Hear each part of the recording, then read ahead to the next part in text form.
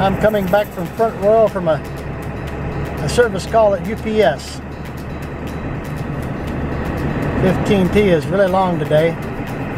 Here we get to see the whole train.